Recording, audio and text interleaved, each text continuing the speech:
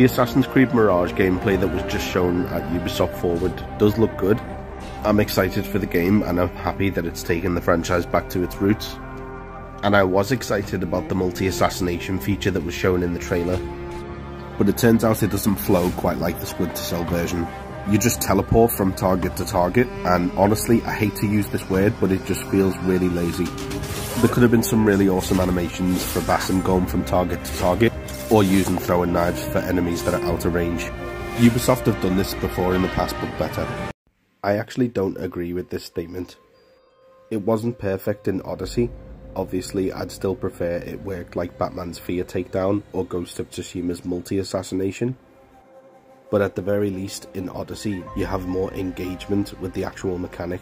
You have to aim at the enemy you want to target between each assassination.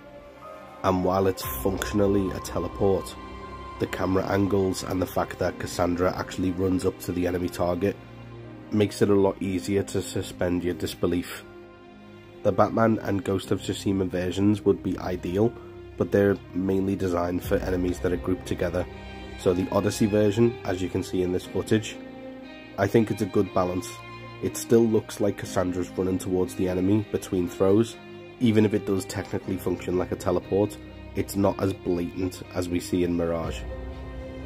And for anyone that doubts that Ubisoft aren't capable of making takedown animations on multiple groups of targets, well, Syndicate would like a word. Syndicate's animations are obviously geared towards closely grouped together enemies as well. But the point is, they are very capable of making complex and really, really awesome animations when they want to. If they combine this level of animation quality with the quick dash mechanic from Odyssey that hides the teleport, I think this would be the perfect way to balance this mechanic in Mirage. The footage that you're watching here from Syndicate is just over a minute's worth from a longer 10 minute video. That's how much animation variety that that game had.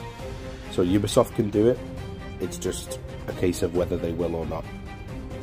And just one last thing before I go, I'm just going to quickly plug another video that I made earlier today. It's pinned to my profile and it's speculating about a Ghost of Tsushima sequel and some things that I'd like to see. So check that out as well if you get the time. See you in the next one.